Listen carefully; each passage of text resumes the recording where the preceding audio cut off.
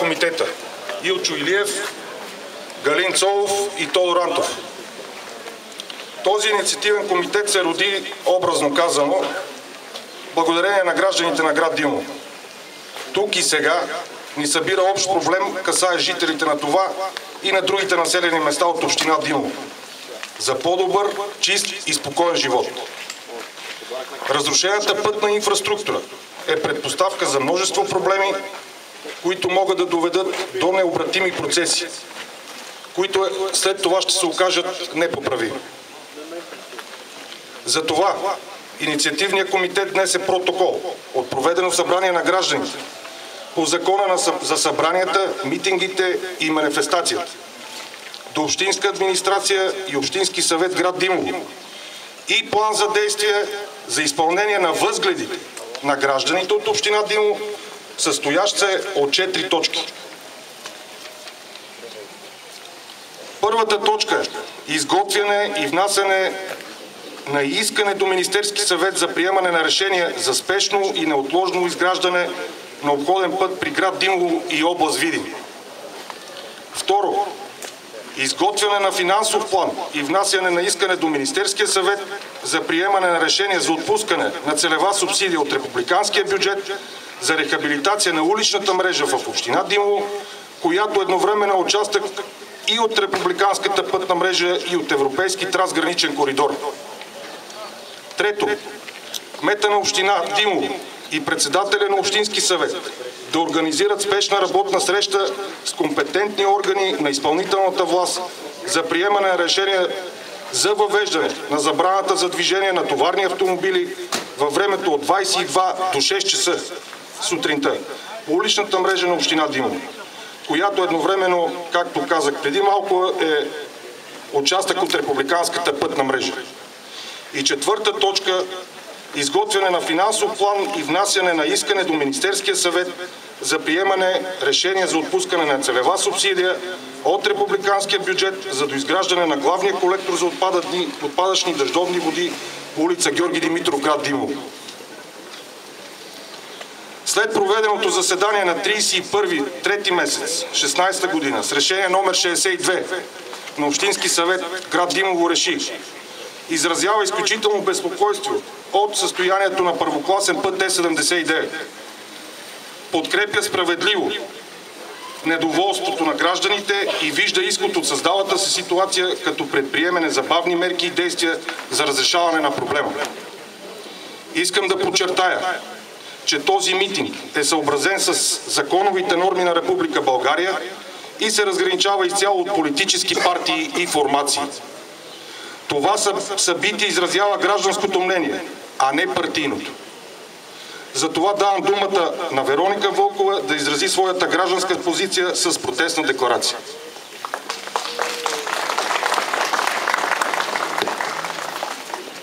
Добър ден! Протестна декларация до министър-председателя на Република България, до министъра на регионалното развитие и благоустройството, до председателя на управителния съвет на Агенция Пътна инфраструктура, до областния управител на област Видин. Ние, жителите на град Димово и съседните населени места от община Димово, през които преминава първокласен път Е79, сме изключително притеснени от непоносимите условия за живот, създадени от тежки автомобилен трафик и изключително лошото състояние на, запр... на, на пътната настилка, на улиците ни, които са част от него. Невероятният шум, запрашеност и вибрации, предизвикани от огромния поток преминаващи през цялото денонощие тежкотоварни превозни средства по разбитите и изровени улици, буквално ни убиват. Разрушават къщите ни, обществените сгради, запрашават обществените зелени площи и дворовете ни. Не ни позволяват да се движим и пресичаме уличните платна, да ползваме магазинната мрежа и заведенията за хранене и услуги. Особено тежко е за по-възрастните и децата, които не могат да отидат безопасно до училището и до лекарските кабинети. Реална опасността от възникване на пътни инциденти с непоправими последици. През 21 век в европейска страна са недопустими такива условия. Държавата трябва да поеме своята отговорност и да промени това. Не може економическата целесообразност да е над здравето и живота на хората. Затова всички ние заявяваме, че повече няма да търпим този терор. Настояваме пред правителството на Република България пред отговорните министерства и агенции да предприемат незабавно мерки за бързото и трайно решаване на проблемите. Да се регулира и въведе строг контрол на трафика. Уличните настилки незабавно да се приведат в състояние, което може безопасно да поеме тежкия трафик. Да се доизградят подземните мрежи, съоръжения, за да не се налага отново да се разкопават вече направените настилки спешно да започне изграждането на обходно трасе, което да изведе трайно трафика от населените места и подобри условията за пътуване, независимо от всякакви административни, финансови и каквито и е обстоятелства. Отстоявайки правото ни на живот, на нормални условия за учене, работа и почивка, на достъп до обществените услуги на територията на нашите населени места, ние защитаваме и правата на всички пътуващи по този първокласен път, български и чужди граждани. Техният живот, превозни средства, товарите и стоките са силно застрашени от възникването на пътни происшествия.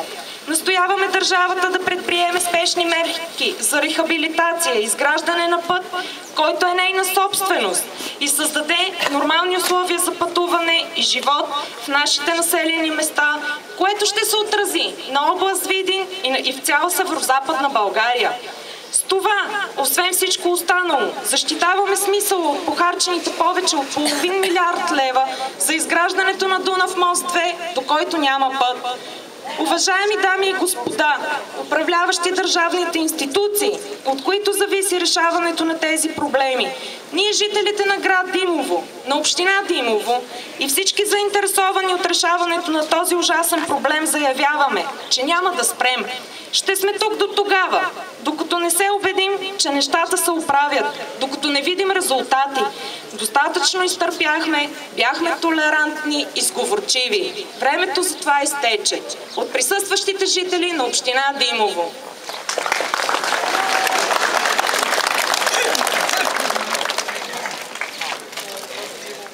Господин Тодор Антов ще прочете декларация от Съюза на международните превозвачи.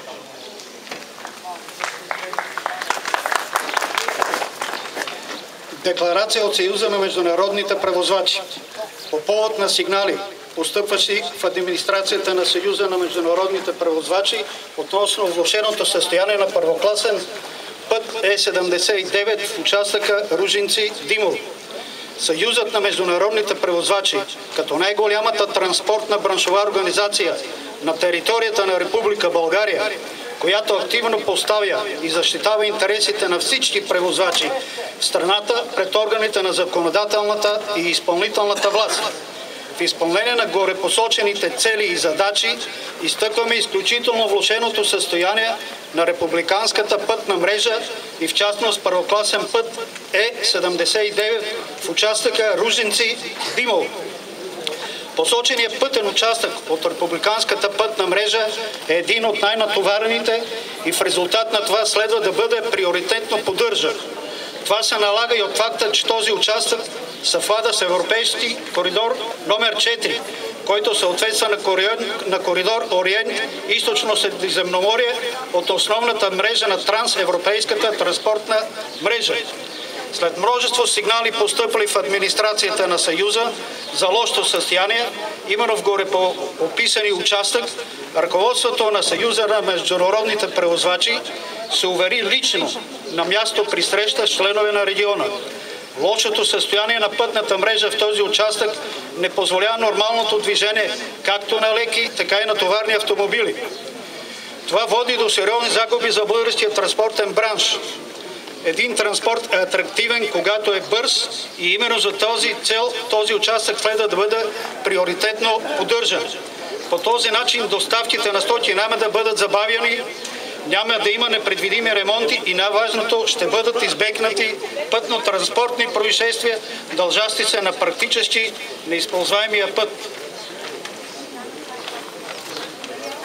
Съюзът на международните превозвачи и неедно, нееднократно е информирал Министерството на регионалното развитие и благоустройството, Агенция Пътна инфраструктура, но до този момент няма реакция. Настояваме отговорните институции в Република България да се вземат с решаването на поставения проблем с цел безаварийно управление и осигуряване на бърз транспорт. Съюзът на международните превозачи подкрепя всички действия, включително и протести, които имат за крайна цел подобряване на пътната инфраструктура. Ангел Траков, председател на управителния съвет на Съюза на международните превозвачи. Благодаря ви.